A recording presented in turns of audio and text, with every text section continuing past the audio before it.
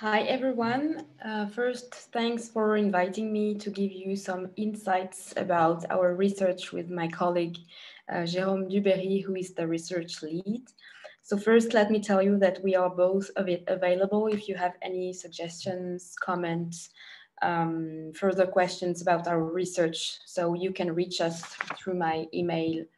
Uh, let me put this, yep um, here. So first I thought uh, I would introduce myself. So um, I have a social science background, so I'm not a technical person and I'm not able to explain you how AI works. But my question here is more about what do we do with AI as a society? So here I wanted to give you a little bit of an overview of our ongoing research and specifically we are writing a literature review about AI and democracy nexus.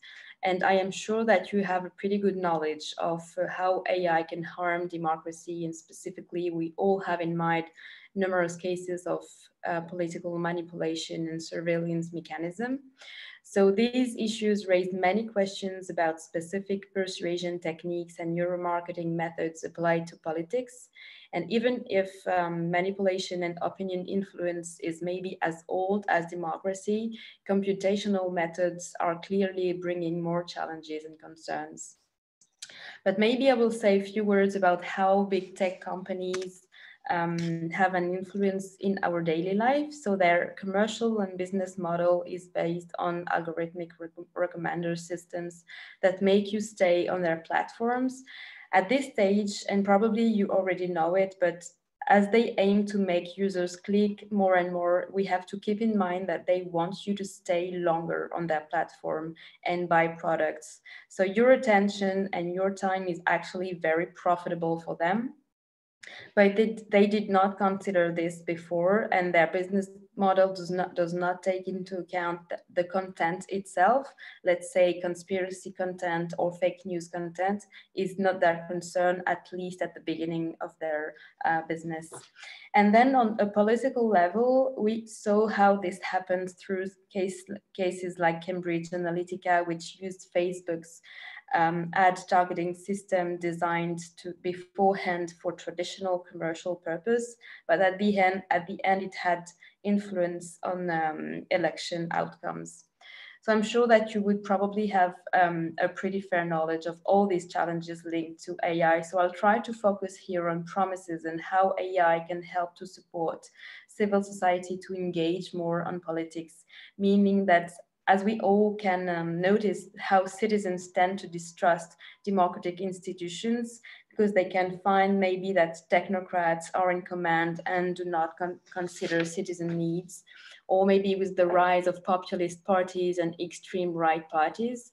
And so AI could potentially stand as a tool to help citizens, or maybe if we go a bit further, to help us rethink and rebuild democracy as a regime because some would, would think that democratic institutions were created centuries ago and do not suit anymore our modern world and the urgencies of our time. So AI could be such a great tool, for example, if we think about SDGs and how AI could act for social good or help scientists uh, analyze data on biodiversity and so on. So basically our work with Jérôme was to try to review the scientific literature to conceive a state of the art and we we did a thorough uh, selection of articles related to the challenges of AI and democracy nexus. And then we categorized them into, into different main categories. And these categories emerge from the data contained in the selected articles. So we, we noticed that in the scientific literature, AI is considered into areas like political processes and citizens' opinion. So how can AI extract citizen opinion about politics to formulate social or political political problematic into policies or to, to evaluate these policies. But else, also um, AI recommendation, recommendation systems could actually stand as a barrier against false news. But I do not have time to go much deeper for this, but just for you to, to know. Um, besides, I wanted to give you a little bit of a context of why we need more citizen participation. As you noticed, maybe in 2020, um, with the COVID-19 pandemic, contemporary societies are increasingly facing narrow political and social problems, which are referred in the literature as wicked issues, and which require a comprehensive examination of social societal stakes and which call from uh, more complex solutions. So for this reason, political elitism and technocracy are no longer considered relevant when acting alone in the formulation of public policies. So here it is about supporting citizens to balance political views besides technocrats' views, but this can also be true for balancing media elites in the in um, in a different um, context. So I want to, you to perceive political participation not only through electoral moments, uh, but also to seize how citizens can can be involved in the construction of a common future through different tools. And here social media play a great role to mine opinion and sentiment about these wicked political and social problems and citizen participation at this different stage, as you can see for ag agenda setting, policy formulation, implementation, adoption, and evaluation. Um, it is a recent trend that also allowed government to take greater account of citizen demands, to include them in, and to legitimize government decisions. So it is exactly here where AI could be useful with the data available on social media, in particular because they are a colossal source of citizens' opinion and feelings. So the following example of AI supporting citizens in political processes are actually tightly linked to social media and to opinion extraction.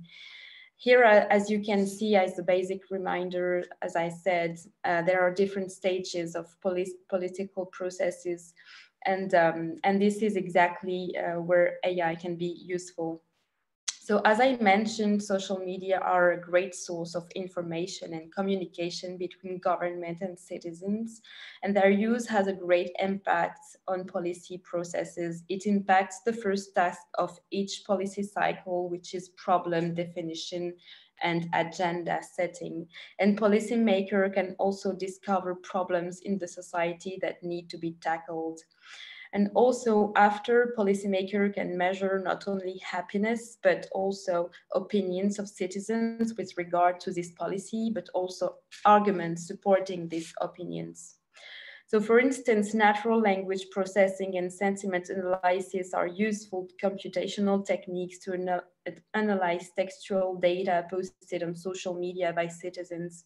The extraction of opinion formulated, formulated on blogs, discussion forum, or social networks can, can make citizens' voice heard, but also about citizen reasoning and conceptualization of specific political issues.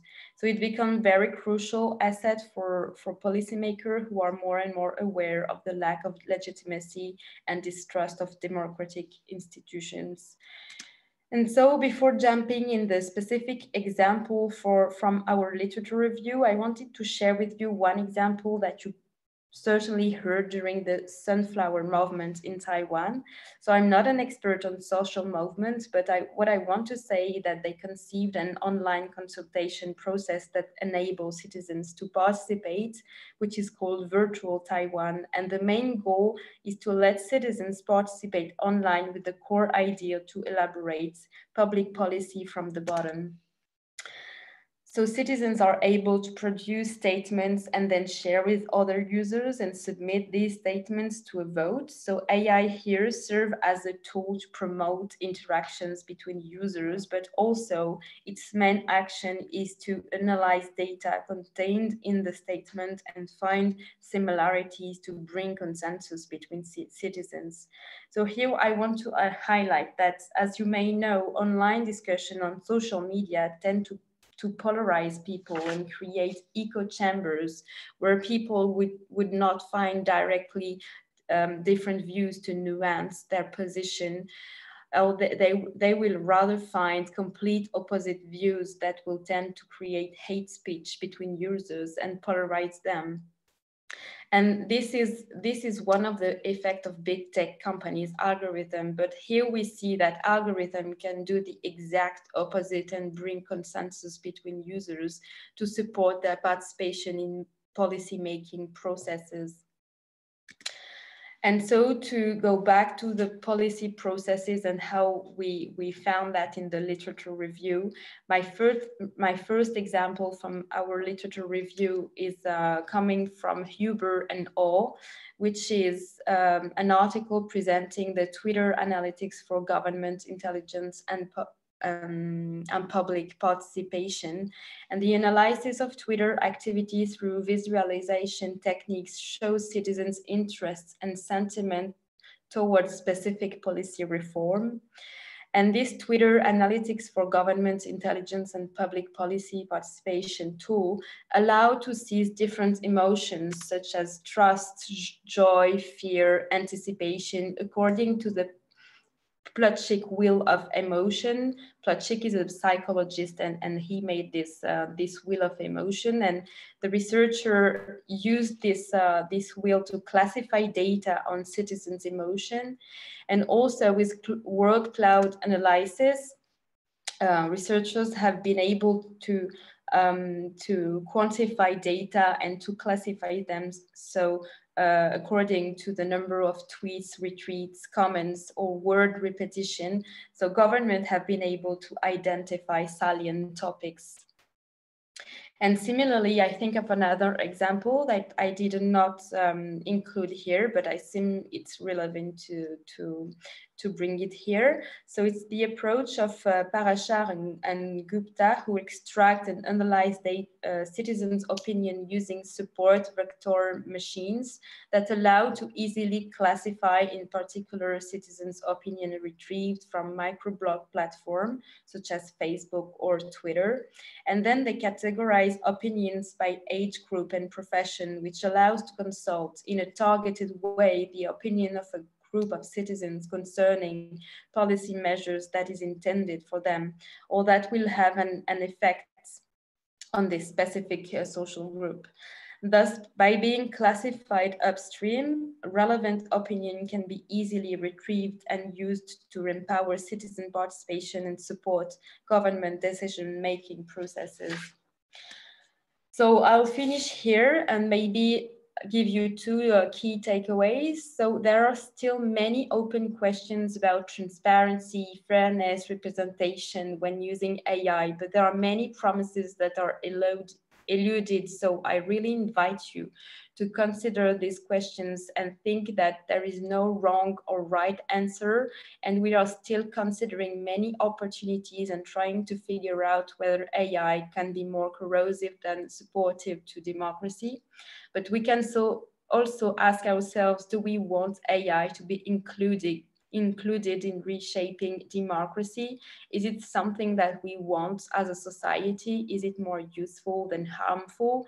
So I finally wanted you to think that as citizens or as researchers in social sciences, we do not understand how AI work, but as, as it has a huge impact on society, not only on democracy, but work, on art, etc.